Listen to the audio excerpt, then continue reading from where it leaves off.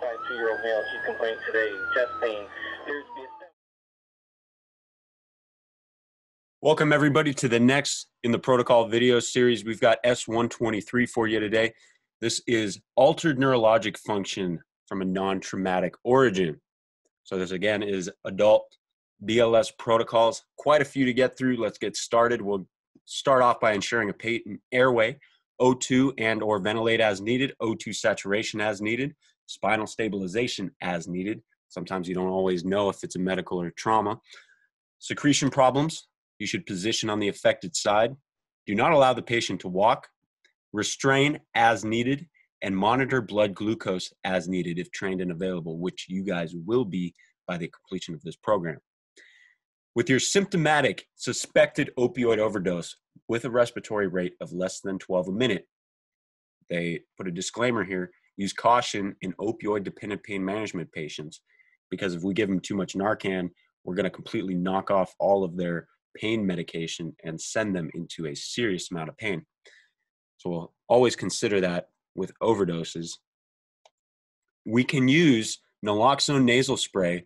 This is one version, four milligrams in a preloaded single dose device where you administer the full dose in one nostril. Or more commonly, you'll have naloxone that you have to assemble in a two milligram syringe with an atomizer known as a MAD, mucosal atomizer device and then we'll administer one milligram or one ml into each nostril.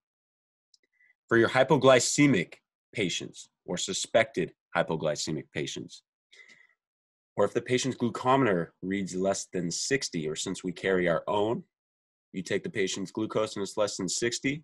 If they're awake and able to swallow, you'll give three oral glucose tabs or the paste via the buccal route for a total of 15 grams the patient may also eat or drink if able to. If the patient is unconscious, NPO, that's nothing by mouth, so we should not be giving oral glucose to our unconscious patients. We need to get ALS en route as soon as possible. For your suspected cerebrovascular accident or a stroke, we'll refer to S144 for the stroke slash transient ischemic attack for additional details. We'll have a video on that. Seizures will protect the airway and protect them from injury, and we will treat all associated injuries. There's another protocol reference in here for behavioral emergencies. That's S422 and S142. Some notes down here at the bottom. EMTs not yet trained in naloxone IN, that's intranasal administration, may assist family or a friend to medicate with the patient's prescribed naloxone for symptomatic suspected opioid overdose these prescribed naloxone um, preloads, if you will, they're common with people who have really bad opioid dependency issues or they're on pain management. And sometimes you get these patients that accidentally overdose.